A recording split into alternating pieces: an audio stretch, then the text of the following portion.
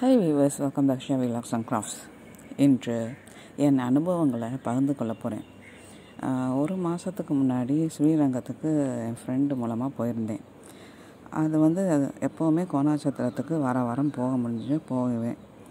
அங்கேருந்த friend வந்து எனக்கு ஸ்ரீரங்கத்தில் ஒரு ஆச்சாரியர் பார்ப்போம்னு சொல்லி கூட்டி போனாங்க.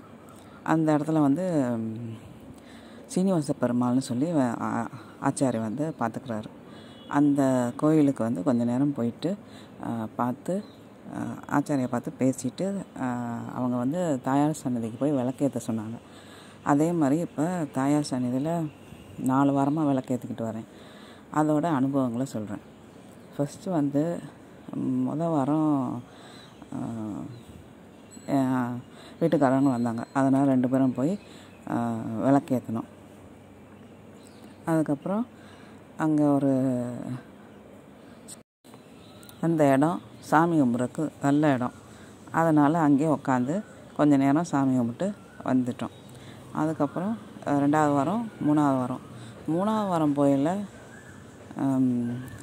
சாமி கும்பிட்டு கண்ணை திறந்து பார்க்கல நான் இருந்த இடத்துலேருந்து தாயார் ஊஞ்சல் தெரியும். அந்த தாயார் ஊஞ்சல் வந்து அழகாக ஆடிக்கிட்டு இருந்துச்சு. அப்போவே நான் நினச்சேன் இந்த தாயார் ஊஞ்சலை தொட்டு சாமி கும்பிடணும் அப்படின்ட்டு. அதுக்கப்புறம் மூணாவது வாரம் போய் எப்பவும் போல் பண்ணிட்டு வந்தாச்சு. நாலாவது வாரம் போயில தான் அதுதான் போன வெள்ளிக்கிழமை போனோம் அந் அப்போ தான் என்னென்னா தாயார் ஊஞ்சலை தொடணும்னு நினச்சிட்டு நான் பாடு உட்காந்து சாமி கும்பிட்டேன். திடீர்னு வந்து ஒருத்தங்க குங்குமம் போட்டு கையில் வச்சாங்க. என்னடா திடீர்னு கையில் வைக்கிறாங்களேன்னு பார்த்தா அவங்க எல்லாருக்கும் கொடுத்துக்கிட்டு இருக்காங்க. சரி அப்படின்னு சொல்லி வாங்கி வச்சுக்கினேன். அதுக்கப்புறம் என்னென்னா கும்பிட்டு அடுத்தது எந்திரிச்சு போயில மறந்துட்டு தாயார் ஊஞ்சலை பார்க்காம வெளியில் வர்றதுக்கு பார்க்கல அந்த இடத்துல தாண்டியில் இடிச்சிருச்சு. இடித்தோன்னே பின்னாடி திருப்பி கோயிலுக்குள்ளே வந்து தாயார் இடத்துக்கு போயிட்டு அந்த ஊஞ்சலை ரெண்டு மூணு தடவை ஆட்டிட்டு சந்தோஷமாக திருப்பி வந்துட்டேன். இன்னொரு இது வந்து மூணாவது ரெண்டாவது வாரம்னு நினைக்கிறேன். ரெண்டாவது வாரம் தாமரைப்பூ வாங்கி கொடுக்கையில் தாமரைப்பூ வந்து ஃபுல்லாக கொட்டுது. ஆனால் பார்க்கல. ஏன்னா பைக்குள்ளே இருந்துச்சு. அந்த பைக்குள்ளே இருந்ததுன்னு சொல்லி அப்படியே எடுத்து கையில் வச்சு வச்சு கொண்டு போய் கொடுத்தேன்.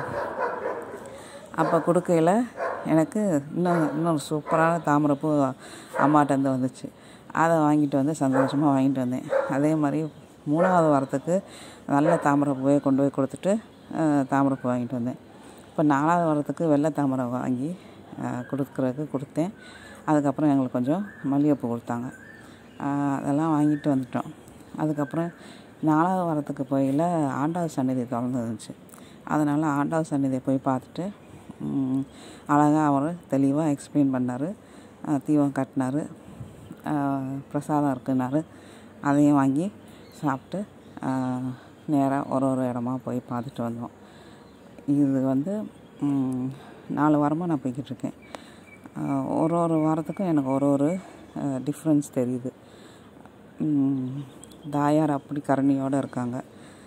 பெருமாளை ரெண்டு தடவை தான் பார்த்தேன். ஏன்னா ஃபஸ்ட்டு வாரம் ஒம்போதரைக்கு ஏழரைக்கு ஏழரைக்கு போயிருக்கையில் நாங்கள் ஏழு மணிக்கு போயிட்டோம். ஆனால் ஏழரைக்கு தான் திறப்பாங்க. ஆறு மணிக்கு போயிட்டோம். ஆனால் ஏழரைக்கு தான் திறப்பாங்கன்னாங்க. அதனால் அங்கே போய் வெயிட் பண்ணி சாமியை தரிசனம் பண்ணிவிட்டு வந்தோம்.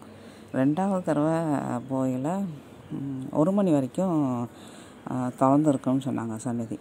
அதனால் என்ன பண்ணேன்னா போய் சரி பார்ப்போம் பன்னெண்டு மணி ஆச்சு. சரி பார்ப்போம்னு சொல்லிட்டு போனால் அவங்க விட்டாங்க. ஆனால் என்ன பெருமாளை உள்ளுக்க போய் பார்க்க முடியாது வெளியிலேயே தரிசனம் பண்ணிட்டு வர்ற மாதிரி. அதை தரிசனம் பண்ணிவிட்டு வந்துட்டேன். மூணாவது வாரம் முடியலை. அதனால் பெருசாக வந்துட்டேன். நாலாவது வாரமும் பார்க்கல.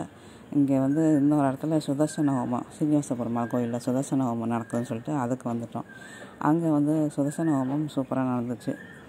அதுக்கப்புறம் பிரசாதம் எல்லாருக்கும் கொடுத்து எல்லாம் சாப்பிட்டு அங்கே உட்காந்துருந்தோம் இந்த மாதிரி என் அனுபவங்களை நான் பகிர்ந்து கொள்கிறேன் உங்களால் முடிஞ்சால் நிச்சயம் இந்த இடத்துக்கு போய் எப்போவுமே அந்த கூர்ம அவதாரம் பத்து அவதாரங்கள் இருக்குது அந்த இடத்துல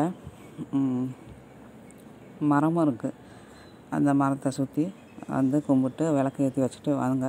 நிறைய வித்தியாசம் உங்களுக்கு தெரியும். நன்றி வணக்கம்.